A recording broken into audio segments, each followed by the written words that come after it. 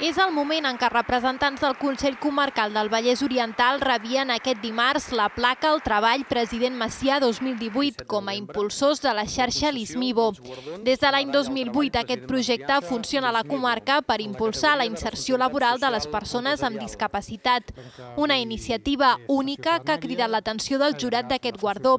La xarxa Lismivo ha rebut aquest premi en la categoria de responsabilitat social empresarial. En l'àmbit territorial no hi ha gaires exemples de treball en xarxa en l'àmbit de la incorporació de persones amb discapacitat al mercat de treball ordinari.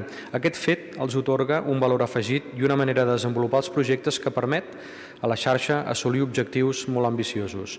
El treball conjunt i transversal dona resultats interessants. La xarxa Lismivo compta amb la col·laboració de la Diputació de Barcelona i diversos agents de la comarca implicats en la inserció laboral de persones amb diversitat funcional, com entitats, centres especials de treball, organismes de serveis, oficines de treball de la Generalitat, serveis locals d'ocupació, UGT i comissions obreres i la Fundació PIMEC.